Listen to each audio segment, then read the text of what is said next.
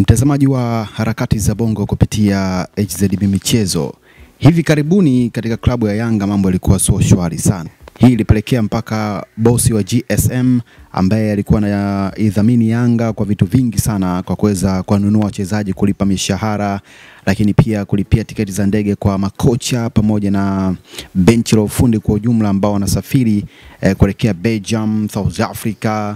Kwa hiyo juzi walisema kwamba wamejitoa rasmi na kuweza kuwasaidia Yanga kwa vitu vya kawaida tu, lakini vitu vingine kuhusiana na kununua wachezaji eh, lakini zile sui signing fees zote hazipo. Sasa kulikuwa kuna taarifa ambayo ilikuwa sio nzuri sana, na leo tumeona barua imeweza kutoka tarehe ishirini na saba mwezi wa tatu elfu mbili na ishirini kwa mwenyekiti wa klabu ya Yanga Dr. Mbete Mshindo Msola ameweza kutoa barua mara baada ya kuweza kukaa kimya kwa muda mrefu hajaonekana eh, na mashabiki wanachama wakisema eh, Mshindo Msola vipi au aondoke. Sasa ameweza kutoa kauli ambayo anasema kamati ya uendeshaji wa Yanga imechukua hatua ya kinidhamu kwa kuwasimamisha wajumbe wawili wa kamati hiyo ni Salim Rupia na Frenki Kamugisha kuanzia leo tarehe 27 mwezi wa tatu elfu mbili na ishirini hadi hapo mkutano mkuu utakapofanyika na maamuzi kwa mujibu wa katiba ya Yanga. Waamuzi huo umefikiwa leo mara baada ya kikao cha siku mbili mfululizo kilichofanyika jijini Dar es Salaam kuanzia tarehe 26 mwezi wa tatu elfu mbili na ishirini lakini pia hadi tarehe 27 mwezi wa tatu elfu mbili na ishirini baada ya kutokea sintofahamu iliyopelekea mdhamini wa klabu hiyo kampuni ya GSM kujitoa udhamini wa masuala yasiyo ya kimikataba.